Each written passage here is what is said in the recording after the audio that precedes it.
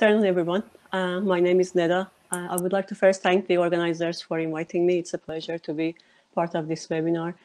Um, today, I will be sharing the recent uh, research findings in our lab toward understanding the neural basis of behavioral robustness and flexibility. Uh, in other words, how, to, uh, how do neuronal responses translate into robust and flexible behavioral outcome of the brain? Um, at first, I will motivate the idea of robustness and flexibility using some example behavioral functions uh, of the brain. Um, understanding uh, how behavior is generated through the integration of sensory, motor, cognitive information is always a fundamental goal in systems neuroscience for those of you who are more uh, coming from the neuroscience background. And uh, one of the hallmarks of the brain is that our behavior remains robust uh, despite large variations in the sensory and non-sensory uh, factors. Here I'm going to just uh, make some examples or list a few examples of variability in the context of visual processing, but this ability holds for other sensory modalities like audition or for other sources of variabilities than what I'm uh, listing here. Uh, for example, uh, neurons have only two orders of magnitude, single neurons in the brain. And by the way, brain cells are called uh, neurons, again, for those of you who are not coming from neuroscience background. Uh, neurons have uh, two orders of magnitude, uh, dynamic range, when they are going to um, detect and respond to the luminance in the visual scene uh, from very uh, bright area like uh, outside this cove uh, versus uh, inside. Um, however, you can experience nine orders of magnitude change in brightness or luminance of the scene. So how come neurons with only two orders of magnitude dynamic range can enable us navigate in the scene with this wide range of magnitude um, in change of change in the magnitude of brightness. Okay. Um, let's go to another example.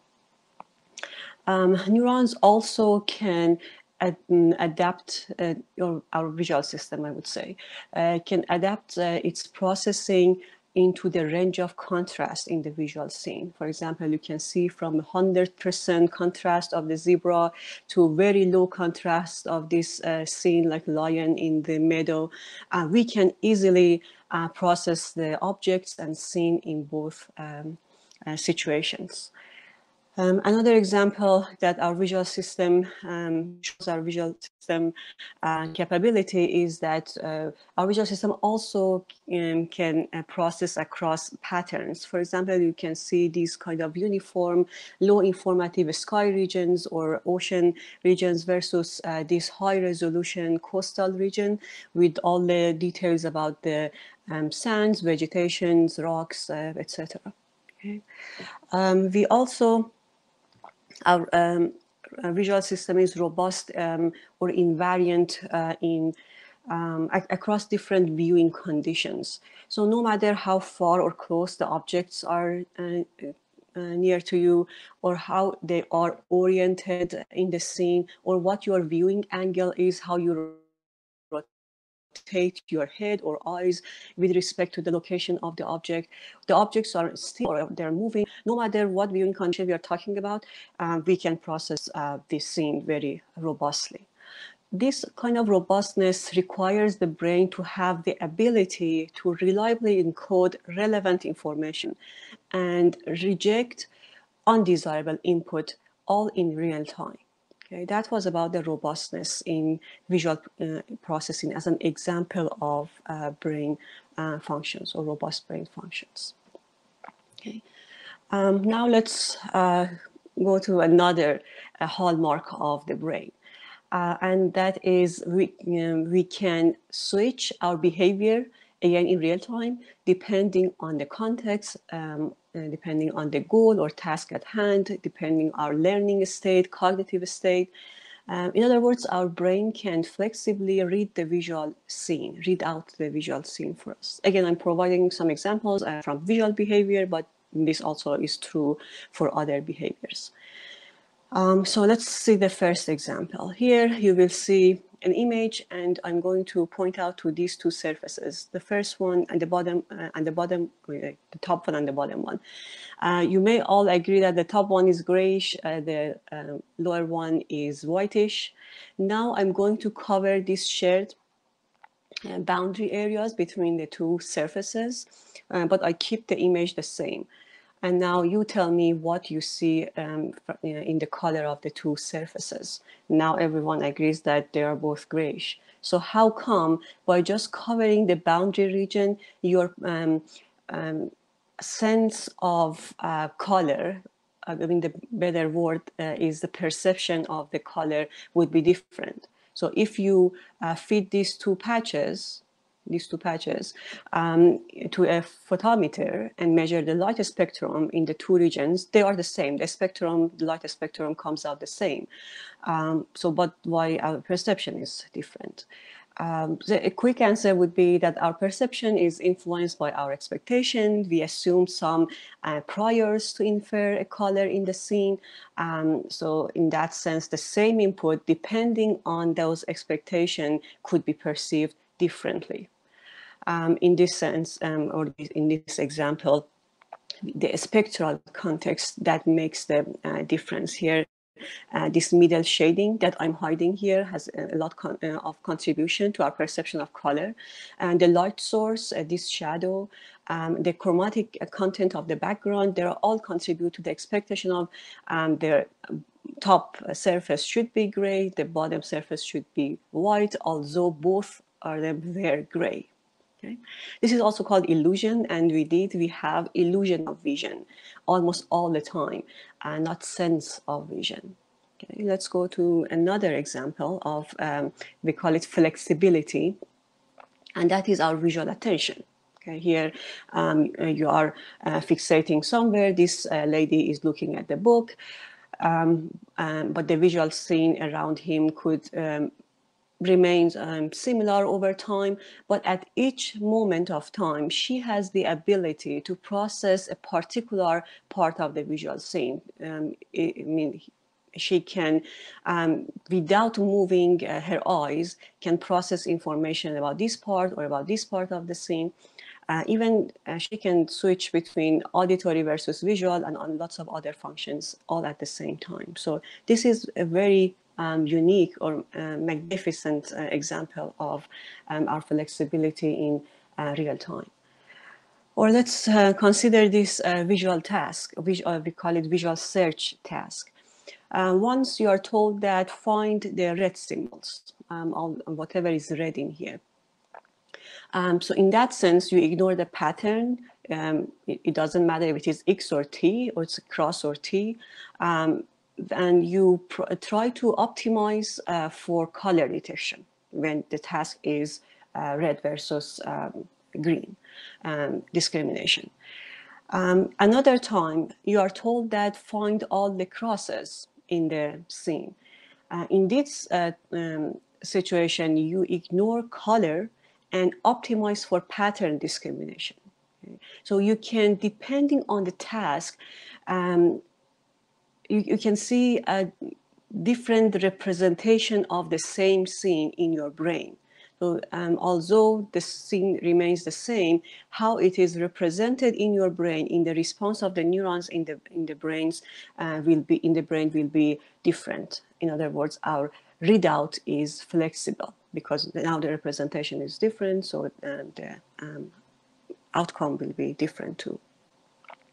And uh, let's see this uh, last uh, example. And in this example, I'm going to highlight um, the power of our visual perception.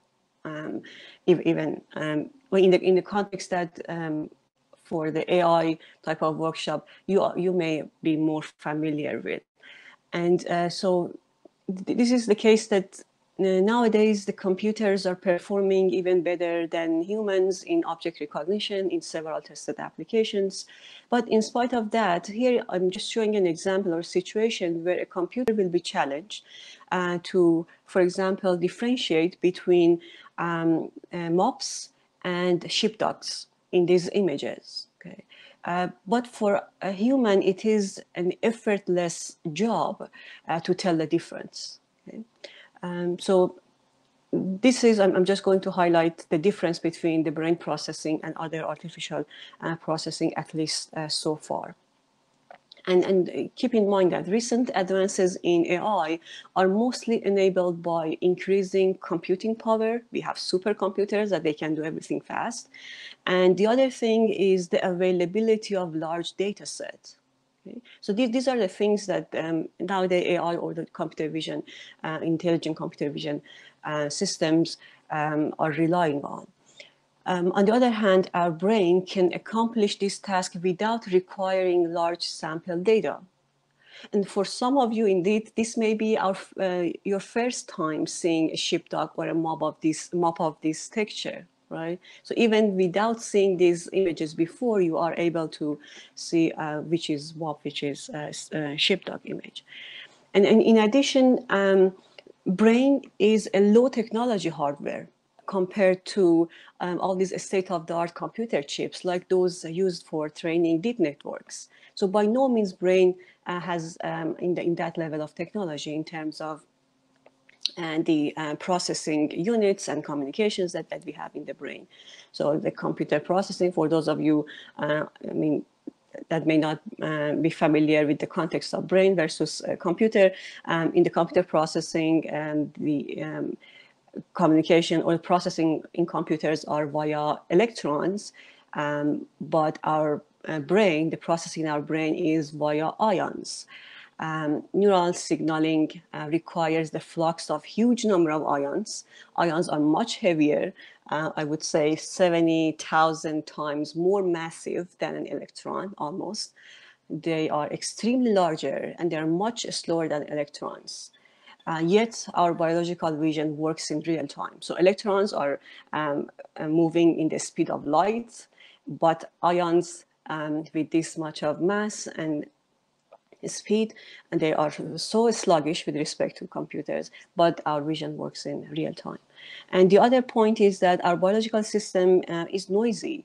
Uh, because of all the chemical activities and mechanical movements, uh, while electrons, or um, in, or I would say electronic devices who are based on um, electron um, uh, movement, um, they're especially, uh, and especially the, the digital ones, uh, they are so precise. Um, so a bit of perturbation in the um, in the bits that are um, coded or they are going to be um, transferred in the computer, a bit of disturbance or perturbation there will um, crash the entire function of the computer. But our biological vision works in a super robust way, although it is a very noisy system, or there are lots of stochasticity in, in, in the in the biological system. And but all the um, I mean, all together, at the end of the day, in many real world scenarios, our slow, noisy brain hardware beats big time the precise, super fast digital processors. Um, and uh, this implies that the power of the brain is in algorithms, is in the software of the brain. And this is another um, known example of the um, computer vision application, uh, one of the challenges in the computer vision applications, uh, at least so far, uh, which ask a computer to differentiate between the blueberry muffin um, or a, a chihuahua um, in these images. Okay. And, and the thing that makes human distinct from machines in successfully performing this uh, task uh, is a co cognitive ability that we have that is called perception. We actually do not see the world as images captured by a camera, like these images that I'm showing here. Um, rather, we perceive the visual world as we interact with the environment, um, and it is basically whatever brain um, um, represented for us or how brain represented for us. And, and basically, in a sense, uh, our brain represent and encode the visual scene in a way to extract or infer, uh, infer useful uh, information for our behavior. Okay? The, the, way that brain wants to work, the representation of the visual scene would be that way. And today, um, I would like to um, make some um, example from our own work, um, which is um, going to highlight the flexibility and robustness of our uh, behavior. Um, and um, we see um, in the um, just few slides.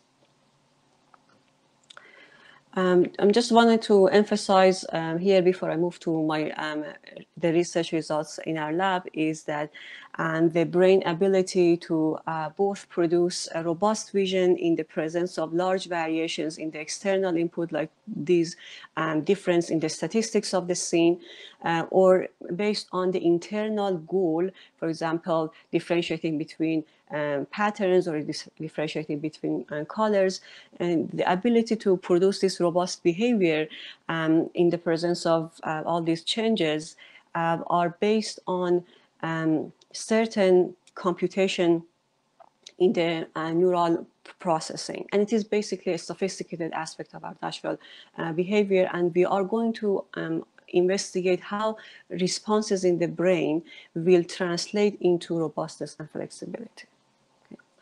So let's um, go through a specific topic that we, um, um, we are pursuing in our lab, or research topic we are pursuing in our lab.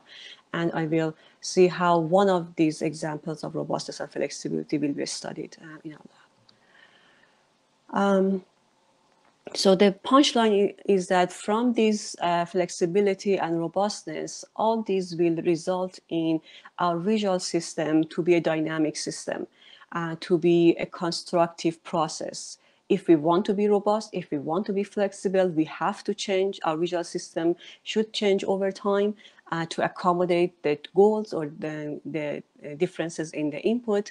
Uh, so in that sense, the uh, brain is constructing the visual world for us, uh, and that is the consequence of um, um, or the implications, I would say, the implications of the um, um, robustness and flexibility in the visual behavior.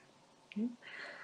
Um, and this is the particular example that I'm going to mention here. Um, basically, uh, this is about uh, how, um, or the question that we are interested to answer is that how we perceive time and location uh, during our constant eye movement which is an exemplar of such robust and flexible visual behavior. When we move our eyes, a large image shift is projected onto, uh, onto the back of the eye, which is called the retina. And let's see first uh, um, in the eye of a neuron, um, how these eye movements will be affecting the processing of a neuron. Um, so this is um, one video that I'm going to show you that is going to um, highlight what, what's happening um, in single neurons in the brain, in, in the visual, in one of the visual um, areas. Uh, so when uh, we are uh, fixating um, or uh, at some point in the visual scene, when our gaze is just fixated at a particular uh, location, each neuron will see a specific part of the visual scene. You can see, for example, for a sample neuron, and that neuron only sees the, this part of the scene. In other words, it only receives visual information from uh, this uh, small uh, area in the scene, and we call it the receptive field of a neuron. And each neuron has the, um, different locations for the receptive field, and all of the neurons together will tile the entire visual scene uh, for us. Okay, um, but when we move our eyes, uh, the image that falls inside the receptive field of a neuron rapidly and drastically changes. I play this video and you can see how uh, that uh, change will uh, look like. But the um, point is that the um, scene that we are perceiving is not jumpy or um, like this kind of shift that we experience in our actual visual um, uh, processing when we move our eyes. Uh, when we move our eyes, the um, scene will remain stable um, smooth, integrated, um, and this is basically what I mean um, by um, the constructive aspect of a vision. The input to the brain all is um, all these um, shifts and jumps in the image, but the outcome of the brain is a very smooth, stable uh, visual scene. And this is the behavior or perception or phenomena that we call it perceptual stability or visual stability across um, eye movement. Specifically, I'm talking about saccadic eye movement, meaning that those eye movements that are jump, um, are jumpy uh, or ballistic, uh, they are large and they are fast. And these are the type of eye movement that, uh, that we do when we are uh, scanning the visual world around us, when we are going to deploy our attention at a specific point in time, or we are going to bring a specific object of interest into our uh, center of the um, eye or center of the retina, we call it fovea, for higher resolution processing. And these are all saccadic eye movement, and in the simple, more simple term, I refer to as saccades. So saccades are just uh, rapid eye movements. Um, and um, uh, I'm going to see how that stability is coming out of the neural processing. So this is another um, example. So that was for the single neuron. This is our um, ultimate perception. So when um, we move our eyes, and indeed we move our eyes three times a second, on average, even four times a second on average to scan the visual scene. Uh, and every time that we move our eyes, these huge image shifts are projected onto the retina, similar to these video frames captured by a moving uh, camera. But the fact is that we do not see the uh, or perceive the visual world like this. Otherwise, we would have gone crazy uh, with all these constant uh, eye movements. Um, and the point is that understanding how our visual system um, interpolates between all these different snapshots of image as we move our eyes, as uh, we sample from the visual scene, um, and we do it that uh, so in real time will contribute uh, to the uh, illusion of vision, and it's a necessary step for understanding the vision as uh, the constructive or one constructive uh, processing in the brain.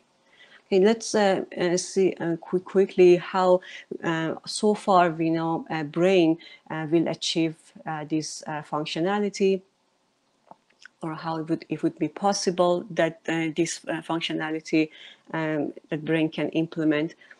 first of all, um, we know that or this is this is one of the understanding that we have some evidence for uh, that our retina, as I, as I say, is a, a, first layer of visual processing or visual neural processing, and that layer is in the back of our eyes. And the retina will shut down during eye movement. So it means that actually uh, we are blind or almost blind during eye movement. No information from the visual scene will be transferred into the brain uh, during eye movement that's one mechanism. And in that sense, you can see that this um, um, blindness episode of uh, retina will help uh, eliminate the uh, motion smear or the, those kind of um, motion blur that will be induced by mo uh, movements of the eye. But at the same time, um, if you shut down this part and nothing will go into the brain, it means that at some points, as you move your eyes, um, when, the, when your eyes are on the fly, you have to see some blank images in between the samples from the scene. But the fact is that we do not see the word like um, um, some snapshots of the visual scene interleaved by blank images. So it uh, suggests that somewhere higher up in the brain, in the visual cortex, um, so it's the retina, and this is the uh, thalamus, and this is the primary visual cortex, all the way to higher level of visual processing. Somewhere up uh, in the brain should fill the gap. Uh, in other words, it should interpolate between these snapshots. It could reconstruct the entire visual world across time. And this across time is very important. This is what what um, most of the um, artificial system uh, miss or have to miss because of the complexity um, in um, uh, very um, much uh, visual applications that exist uh, or successfully uh, can uh, successfully operate in, in almost um, real world or complex visual scene conditions. Okay. Um, but overall, the, how this will be possible um, our visual scene will not have access to information uh, about the visual scene because the retina shuts down. And so where that information is coming from, and this is known that again, some evidence exists, but this is an open area of research that uh, areas in the brain that are responsible about um, for, for control of eye movement, uh, and th these are, it could be um, parietal cortex or um, um, prefrontal uh, cortex or area frontal eye field here uh, specifically, they will communicate to visual areas. So they have access to the position of the eye, to the um, all the plans that we are going for the movement of the eyes. So um, they will tell the visual areas that, okay, the eyes are about to move, change your processing. Otherwise, our perception would be that distorted and jumpy um, um visual scene. Uh, so this is just um, um, general understanding, but there are lots of open uh, questions, and these are even not uh, confirmed necessarily. Uh, the complexity, um, I would say, for the for these studies, they are both uh, um, in the experimental aspects of the work and uh, of the work, and also in the computational um, aspect of the work. Um, work. Um, so, for example, um, all the uh, changes in the um, processing or response of the neurons and all the behaviors that are generated out of this change in the responses will happen over millisecond time scale. So the entire duration of eye movement, single eye movement is about 30 to 40 milliseconds. So all these changes in the responses and in the signaling, in the processing and the readout of these representation should happen in these few milliseconds. So you can imagine that how it will be difficult both for the measurements from the uh, brain and also for uh, the report from the uh, subjects. It could be animals or it could be human um, about their um, how they perceive um, the visual world when they are um, uh, told to do some specific visual task during eye movement so that the time scale will challenge both the measurements of the physiological signals and also measurement of the behavioral signals. And specifically for the case of visual stability, another challenge is that how, how we measure. It's not just um, it, we do not have enough time to measure it. So how you want to ask a subject, uh, a, a human participant, for example, that do you see the scene integrated or not integrated, stable or unstable, how much um, stability you would experience. These, these are not um, even possible, um, but at the end of the day, they are hard experiments uh, to do. And the other complexity is that all the computations that are done uh, in, within the neurons or communication in the uh, neurons um, at the level of how the information is encoded or represented in the neurons responses and how the behavioral information is read out or decoded from the um, responses, they all also happen in on millisecond time scale. So if you want to describe the encoding and decoding processing over just 30, 40 millisecond, that would challenge um, every uh, modeling approaches, every computational approaches that you want to use to describe and the input and output um, relationship during eye movement. When the input is visual scene, the output is the uh, response of the neuron and ultimately uh, the readout of the response. Um, maybe I'm just skipping um, the, uh, the, details of this slide, but uh, let me just describe what we mean by neural responses uh, for those of you who, again, who are not coming from the neuroscience uh, background. Here, I just show quickly how, um, well, actually I have to turn, keep it on.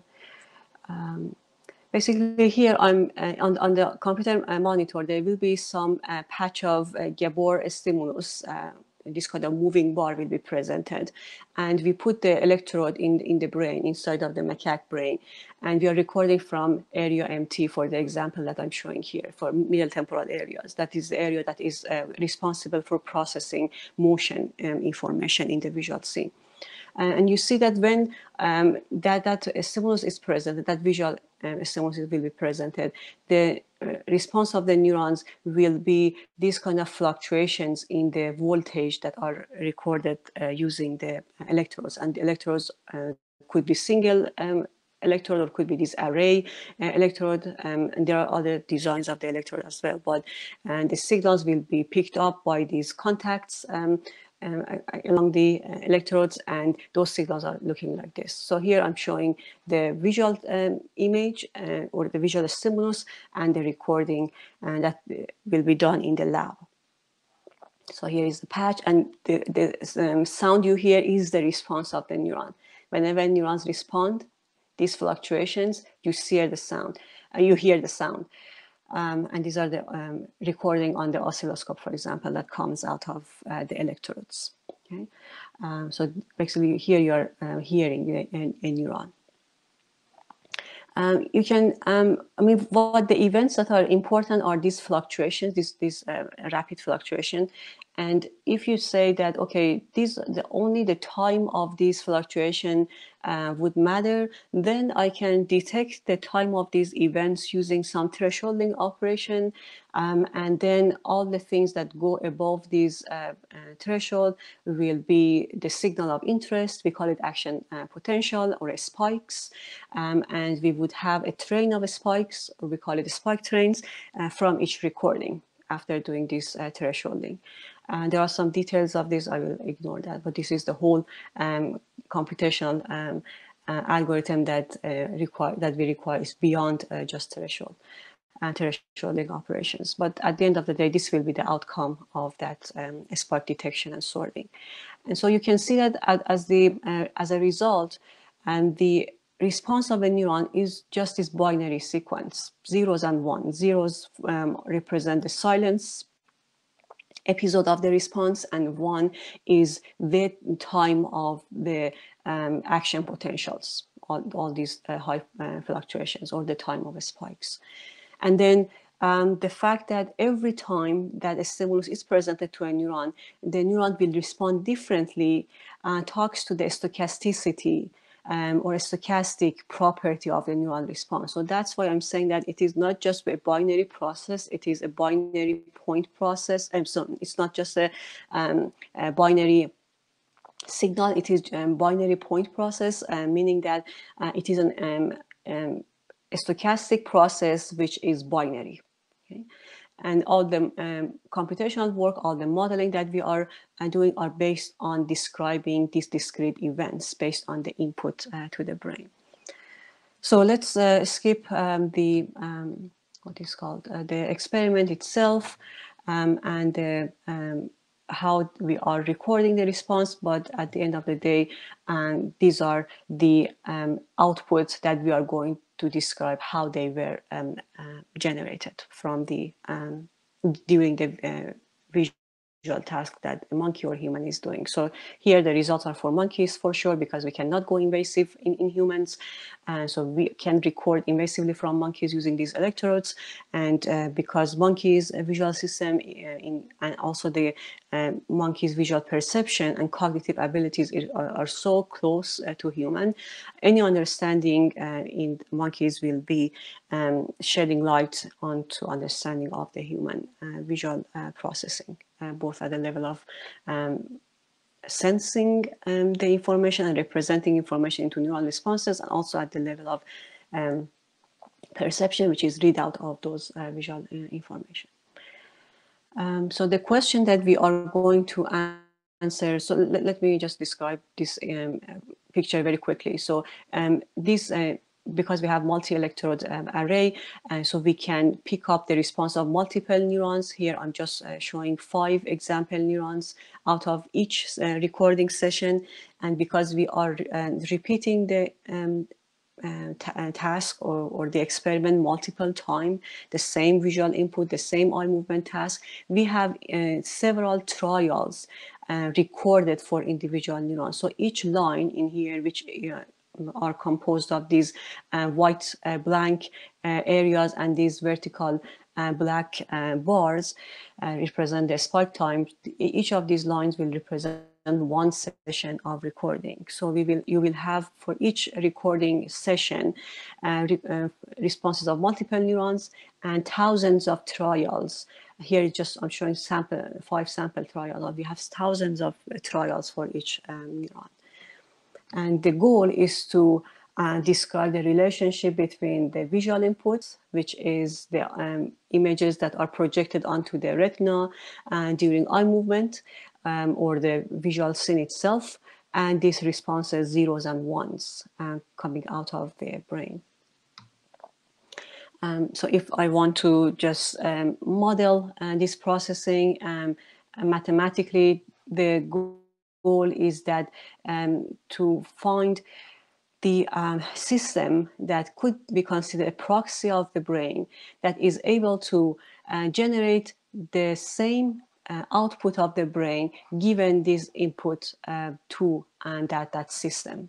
Okay, so what that uh, system is.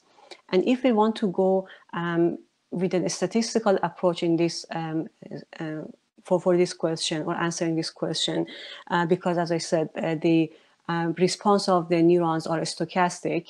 Uh, so we have to describe the statistical properties of the um, these zeros and ones.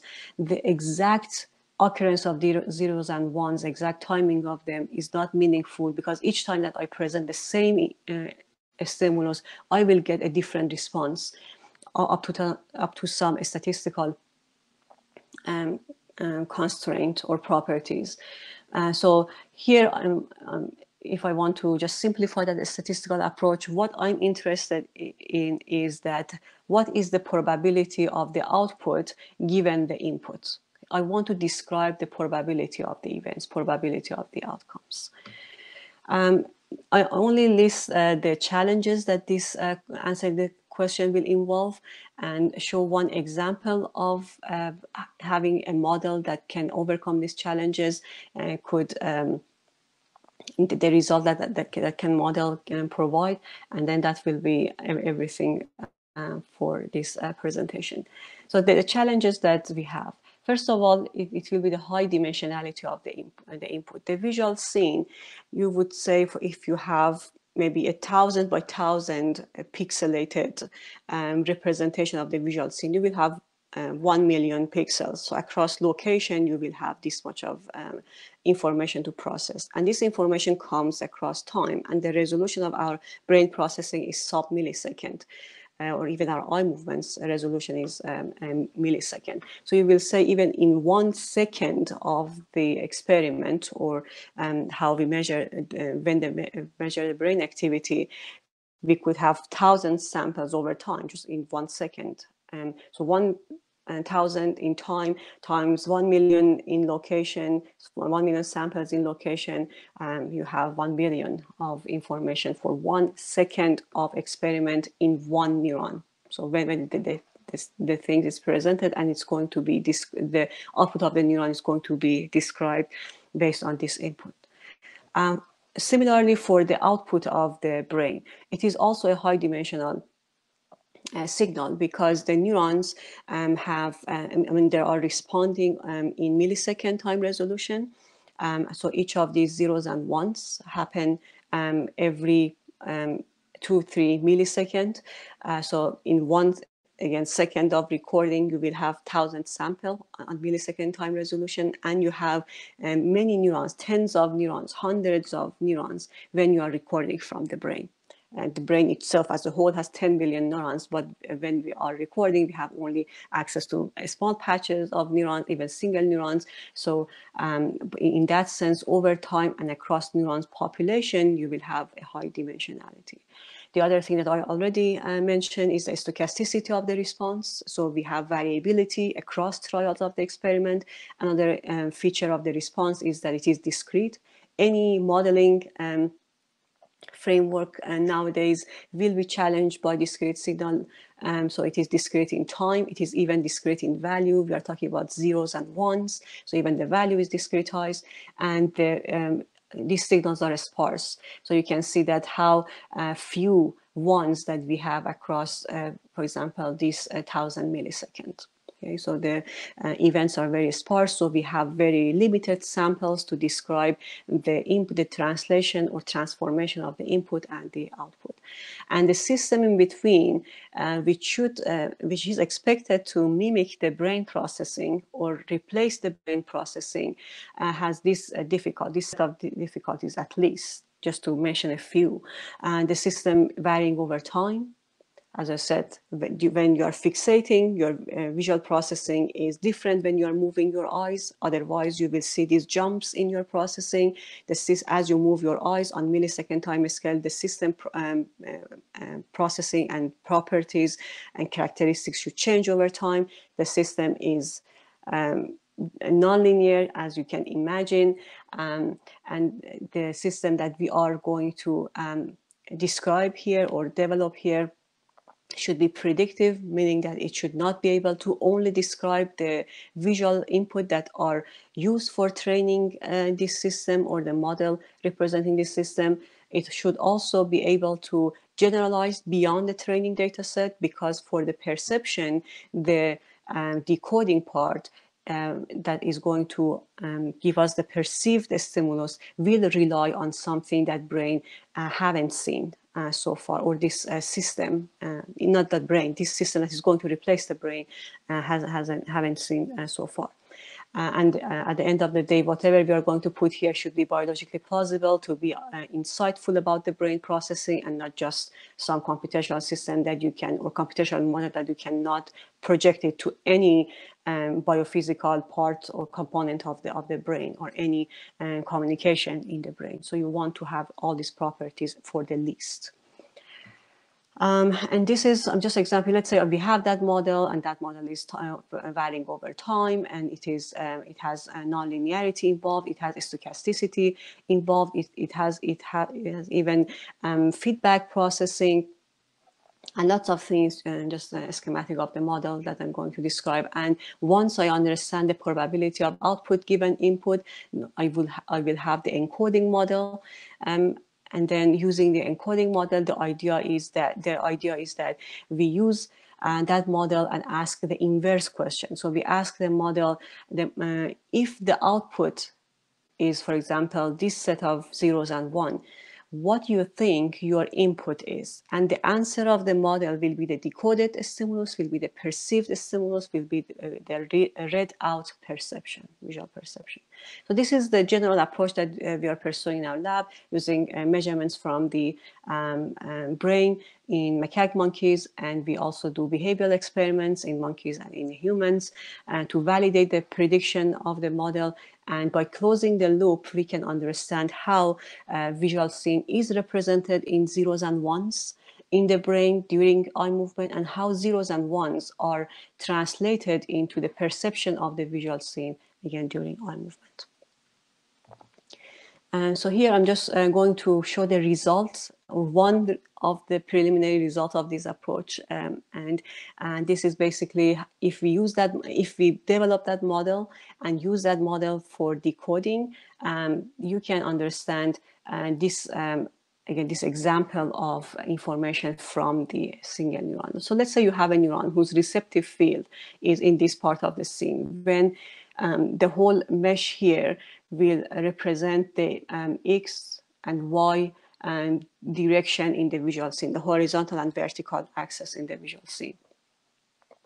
When uh, eyes are um, fixated here, so here is the schematic of the eye, is the location of the fixation point, and the animal is going to move its eyes uh, from um, here uh, to here during the uh, eye movement task. And I want to see how the neurons uh, processing will change against single neuron.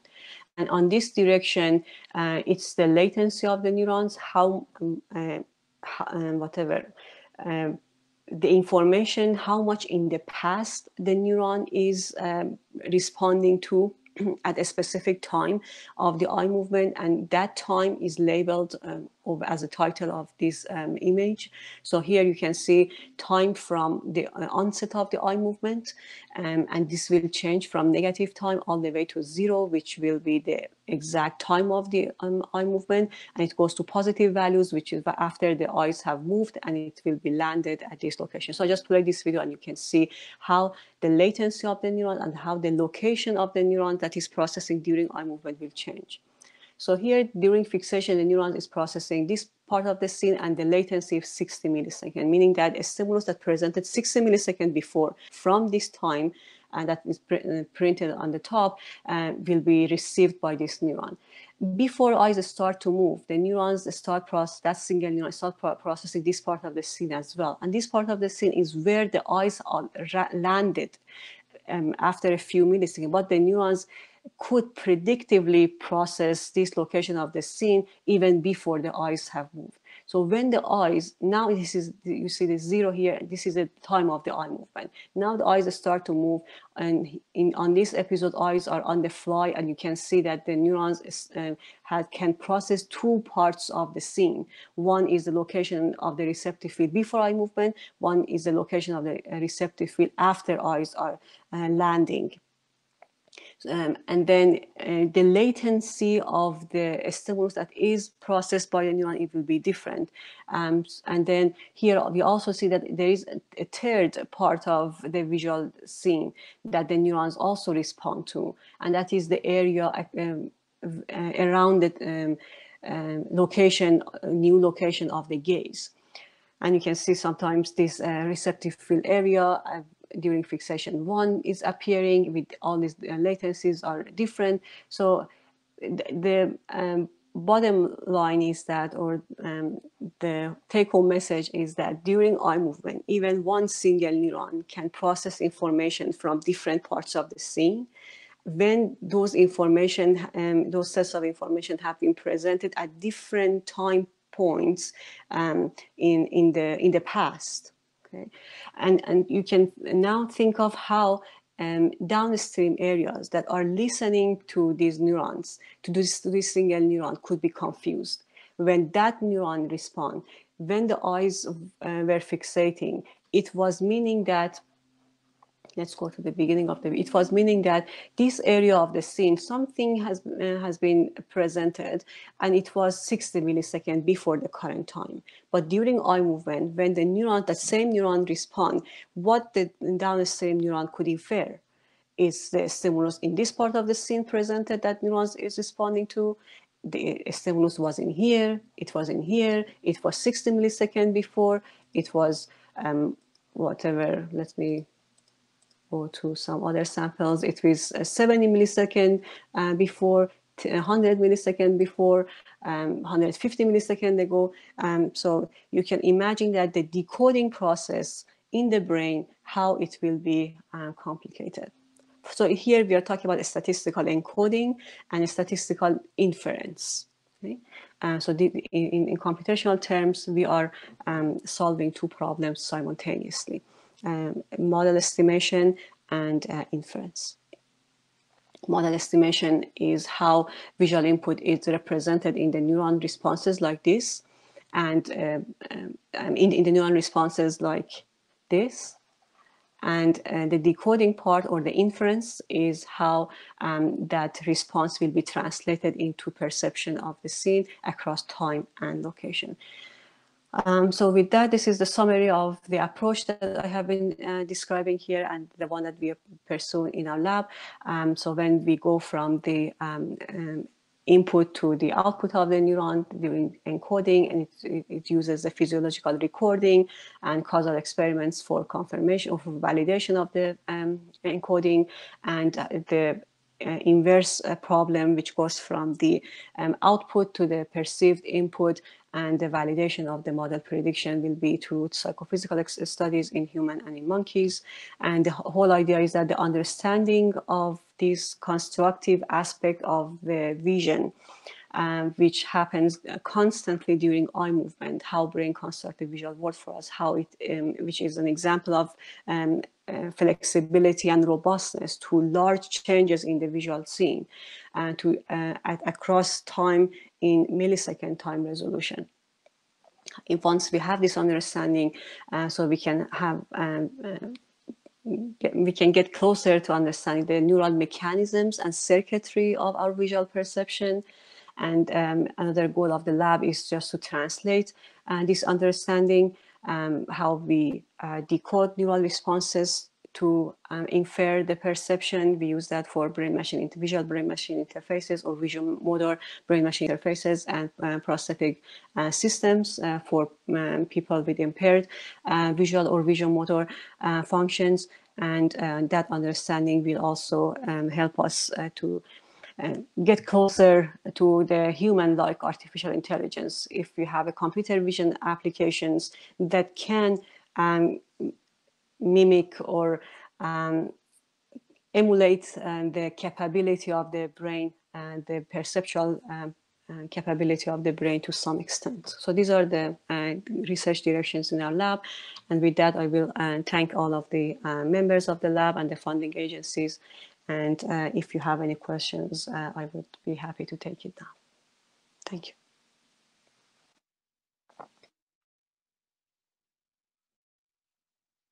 And a very insightful uh, presentation.